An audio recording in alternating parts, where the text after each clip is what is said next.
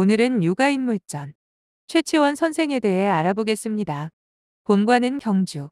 경주 최 씨의 중시조이다. 최 씨의 시조는 신라 건국기의 인물 소벌들이지만 사실상의 시조는 최치원으로 여긴다. 신라 골품제에서 육두품으로 신라의 유교를 대표할 만한 많은 학자들을 배출한 최씨 가문 출신이다. 특히 최씨 가문 중에서도 이른바 신라 말기 삼최의 한 사람으로서 새로 성장하는 육두품 출신의 지식인 중 가장 대표적인 인물이었다. 자는 고운 또는 해운이다. 경주 사량부 출신이며 최견일의 아들이다. 친형 최현준이 있었으나 출가해 해인사로 갔기 때문에 집안의 사실상의 장남인 최치원은 기대를 한 몸에 받았다. 868년 어느 날 당나라로 떠나는 12살의 최치원에게 아버지는 말했다. 10년 공부하여 과거에 합격하지 못하면 내 아들이라고 하지 말아라. 나 역시 아들이 있다고 하지 않을 것이다. 가서 열심히 하거라. 먼 곳으로 어린 아들을 보내는 아버지의 당부로는 지나치리만큼 매서운 이 말 속에는 대대로 문장과 학문으로 이름을 얻었던 최씨 집안 자손이라는 자부심과 함께 육두품으로서 느끼는 한과 비애가 숨어 있었다. 4살 때 글을 배우기 시작해 10살 때 사서삼경을 읽었다라는 기록이 전할 만큼 총명한 아들이었지만 신라에서는 그 재능을 다 펼치기 어렵다는 것을 누구보다 잘 아는 아버지였다.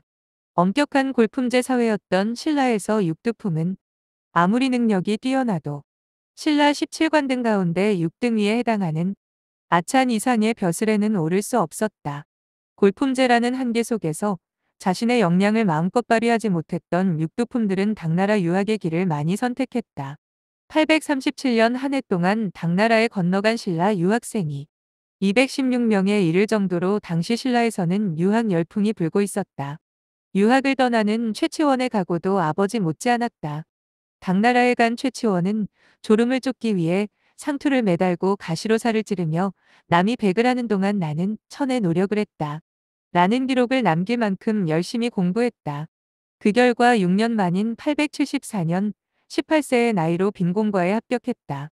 그냥 합격도 아니고 장원이었다. 빈공과는 당나라에서 외국인을 위해 실시한 과거로 이 시험에 합격하면 당나라에서 벼슬을 할 수 있을 뿐 아니라 귀국 후 출세길이 보장된 엘리트 코스였다.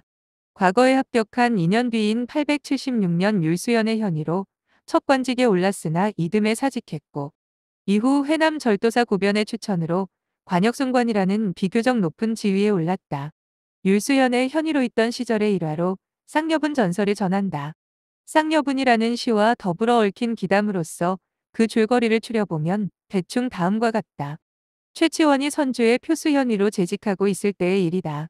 어느 때 남쪽으로 백시별이 되는 지방에 있는 초연관에서 쉬고 있는데 그 앞에 쌍여분이란 고총이 있어 사람들에게 물은 즉 아는 이가 없으므로 그가 시를 지어 조문하였다.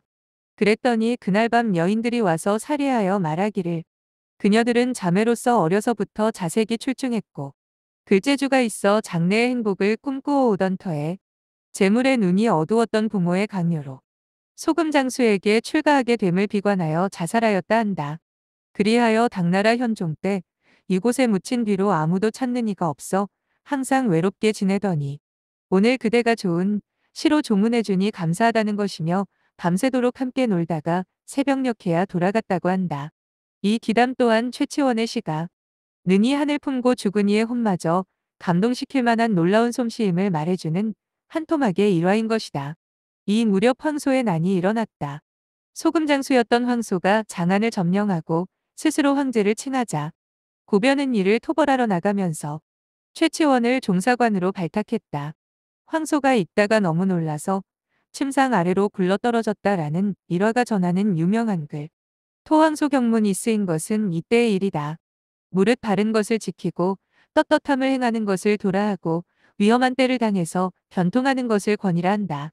지혜로운 사람은 때에 수능에 성공하지만 어리석은 자는 이치를 거슬러 패하는 법이다. 이렇게 시작한 글은 온 천하 사람들이 너를 드러내놓고 죽이려 할 뿐 아니라 지하의 귀신들까지 너를 죽이려 이미 의논했을 것이다. 라며 겁을 주기도 하고 나는 한 장의 글을 남겨서 너의 거꾸로 매달린 위급함을 풀어주려는 것이니 너는 미련한 짓을 하지 말고 일찍 기회를 보아 좋은 방책을 세워 잘못을 고치도록 해라. 라고 회유하기도 한다. 고변은 황소가 장악한 모든 지역에 이 글을 뿌렸다. 당시 중국인들 사이에서는 황소를 격퇴한 것은 칼이 아니라 최치원의 글이다. 라는 이야기가 떠돌았을 정도로 최치원의 글솜씨는 당나라 전체를 뒤흔들었다. 황소의 난이 진압된 뒤 중국 황제는 최치원에게 자금어대를 하사했다. 자금어대는 황제가 정오품 이상에게 하사하는 붉은 주머니로 이것을 받았다 함은 그 능력을 황제에게 인정받았다는 의미이다. 그러나 최치원이 의탁하고 있던 고변은 반란군으로 몰려 실권하고 도교에 깊이 빠져 있었다. 마침 884년 당나라를 방문한 친척 최서원으로부터 오랫동안 궁금했던 집안 사정을 들었고 결국 자신을 알아주는 이가 없는 곳에서 있어야 할 필요가 없다고 생각한 최치원은 신라로 귀국해버렸다. 당시의 신라는 독서 삼품과라는 자체 관리 등용 시험은 있었지만 그보다는 당나라 유학 경력을 상당히 우대해주는 편이었던 덕분에 빈곤과 합격 후 나름대로 공직 경력도 있는 최치원 정도면 신라에서 출세는 거의 보장된 상태였다. 날씨 때문에 산동반도 등주에서 겨울을 보낸 뒤 만 28세인 885년 당이종이 신라왕에게 내리는 국서를 가지고 통일신라로 귀환했다. 신라의 헌강왕은 최치원을 시독 겸 한림학사로 임명했다.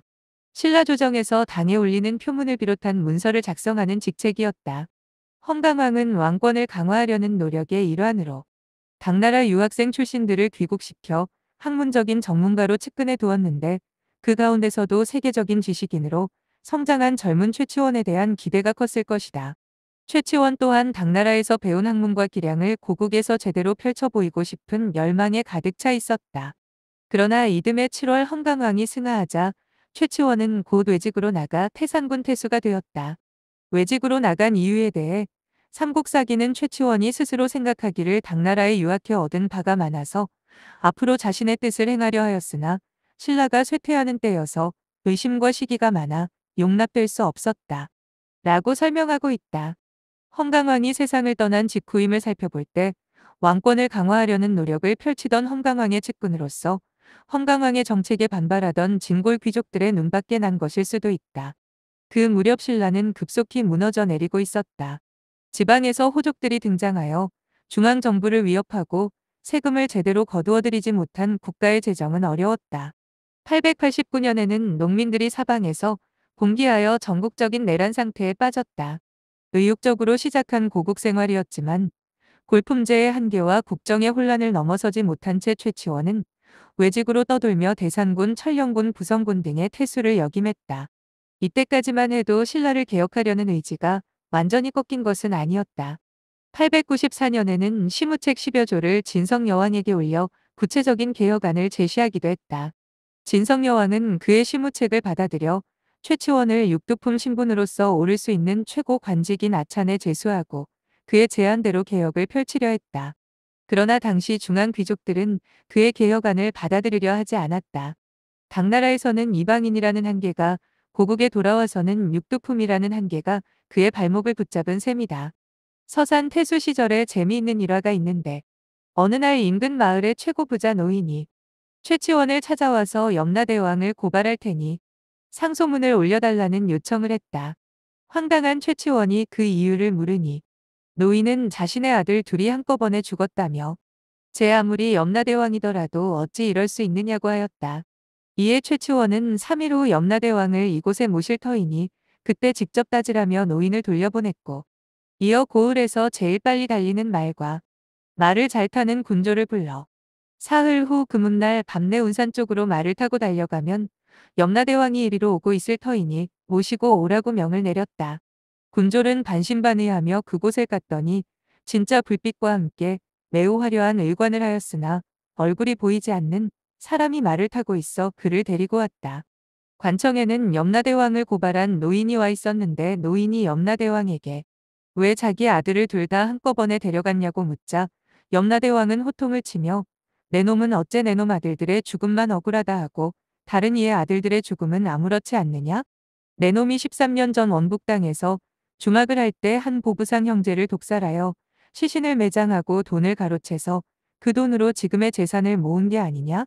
내 놈의 명줄은 길지만 내 놈의 아들들은 애비의 업보를 받아 단명할 운세였다. 그리고 내놈의 죄는 여기 계신 군수께서 다스릴 것이다. 라고 일가라고 사라졌다.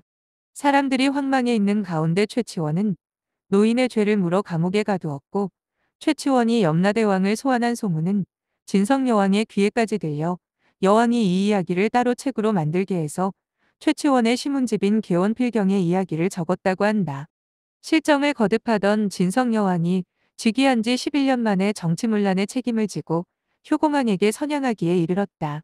이에 이르자 최치원은 신라왕실에 대한 실망과 좌절감을 느낀 나머지 40여 세 작년의 나이로 관직을 버리고 소유자방하다가 마침내 은거를 결심하였다. 즐겨 찾은 곳은 경주의 남산, 강주의 빙산, 합천의 청량사, 지리산의 쌍계사, 하포연의 별서 등이었다고 한다. 이 밖에도 동네의 해운대를 비롯해 그의 발자취가 머물렀다고 전하는 곳이 여러 곳 있다.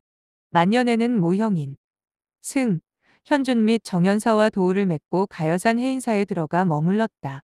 해인사에서 언제 세상을 떠났는지 알 길이 없으나 그가 지은 신라수 창 군호 국성 팔각 등록기에 의하면 908년 효공왕 12년 말까지 생존했던 것은 분명하다.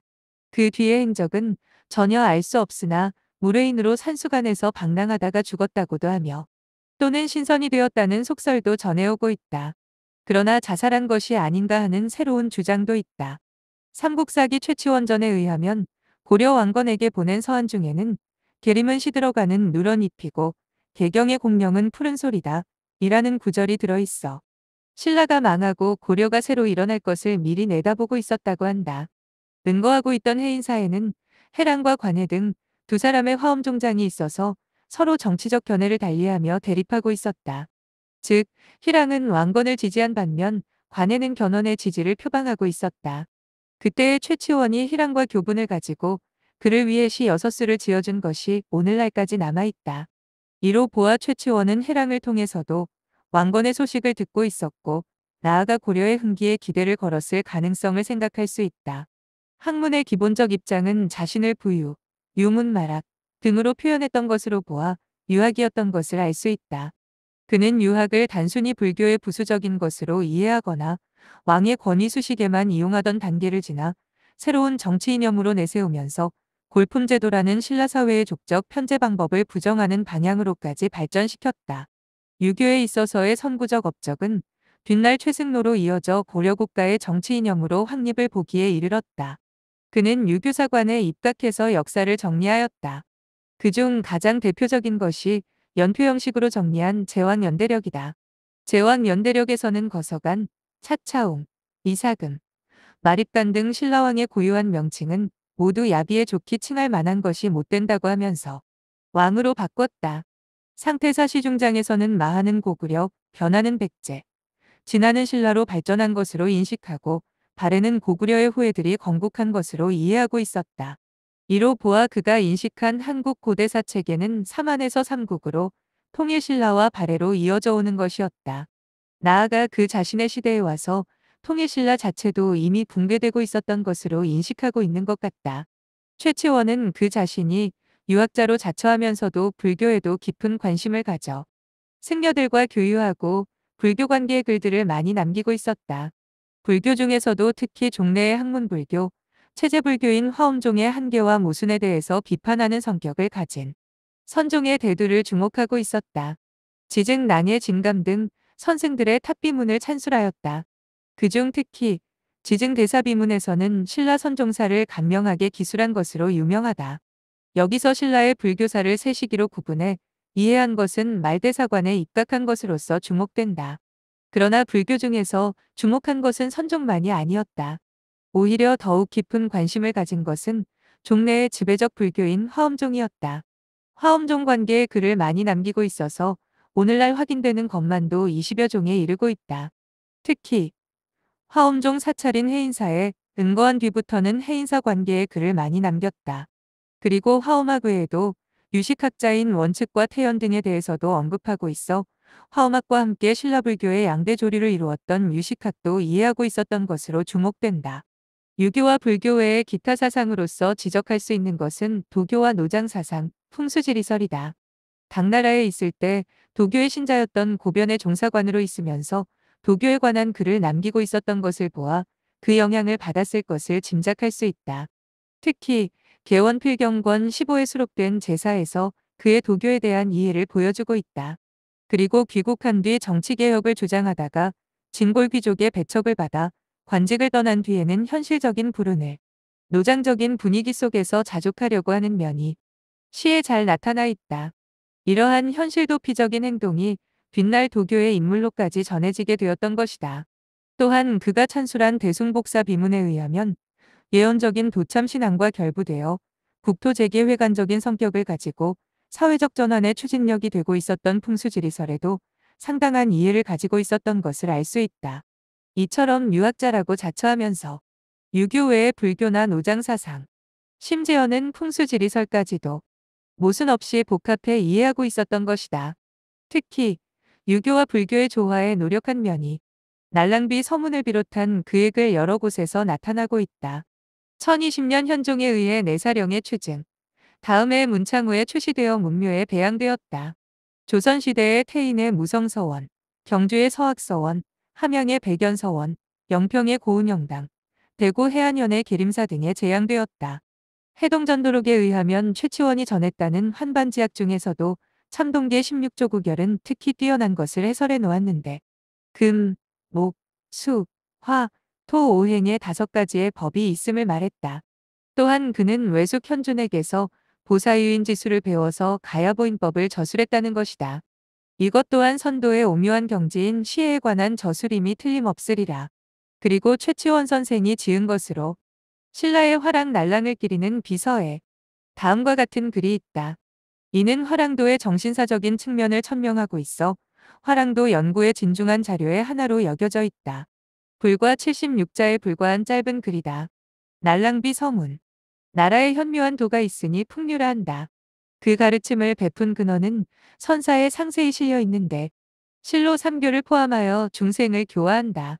들어와 집에서 효도하고 나가서 나라에 충성하는 것은 공자의 가르침이다. 무의로 일을 처리하고 말없이 가르침을 행하는 것은 노자의 뜻이다. 악한 일은 하지 않고 선을 받들어 행하는 것은 부처의 가르침이다. 이상 육아인물전 최치원 선생에 대해 알아보았습니다. 경청해 주셔서 감사합니다.